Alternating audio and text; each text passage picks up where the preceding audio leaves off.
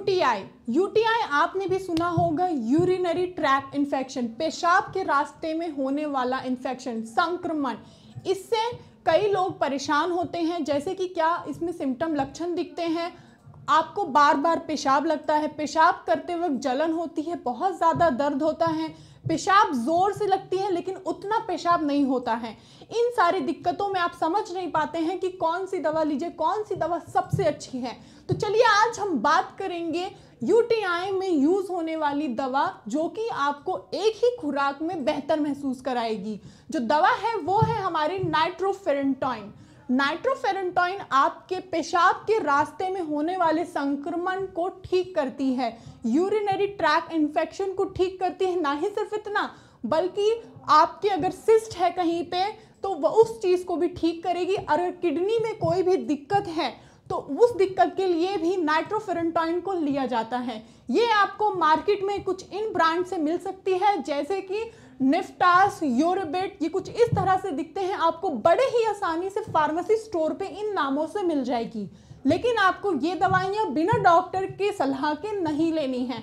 अगर हम यहीं पे इसके यूजेस की बात करें तो जैसे हमने बात की अभी कि ये हमारे पेशाब के रास्ते में होने वाले इन्फेक्शन संक्रमण में काम आती हैं। साथ ही साथ अगर कहीं पे सिस्ट हो गया है, खून के क्लॉट जम गए हैं, इन दवा को ली जाती है। साथ ही साथ अगर आपके किडनी अगर आपके किडनी में कहीं पे भी इंफेक्शन हो गया है तो या फिर सिस्ट है तो उन सारी दिक्कतों में भी नाइट्रोफेरेंटॉइन को लिया जाता है।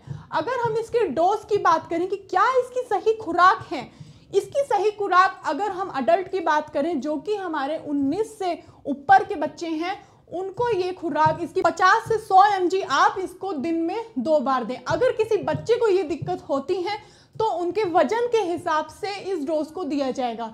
सिक्स एम जी छः एम जी पर के जी जितना वज़न है उस हिसाब से छः एम जी दिया जाएगा। अब यहीं पे अगर हम बात करें कि क्या क्या इस दवाई के साइड इफेक्ट्स हो सकते हैं, आप इस दवा को लेंगे, थोड़ी दिक्कतें आपको देखने को मिल सकती हैं, लेकिन उन दिक्कतों से घबराना नहीं है, क्योंकि वो दिक्कतें ज़्यादा समय तक नहीं रहने वाली हैं। जैसे कि आपका जी मिचलाएगा कोई सामान रख के आप भूल जाएँगे या फिर आपको बहुत ज़्यादा फीवर हो सकता है, या फिर आपको डायरिया आपको लूज मोशन हो सकता है। लेकिन ये सारी दिक्कतें सिर्फ़ दो से चार घंटे तक रहेंगी, हमेशा के लिए नहीं रहने वाली है तो इसलिए आपको डरने की ज़रूरत नहीं है। साथ ही आपको इस दवा को लेने के बाद कुछ चीज़ों का ध्यान रखना पड़ेगा, जैसे कि ये दवा आप पहली सबसे ज़रूरी बात बिना डॉक्टर की सलाह के ना लें।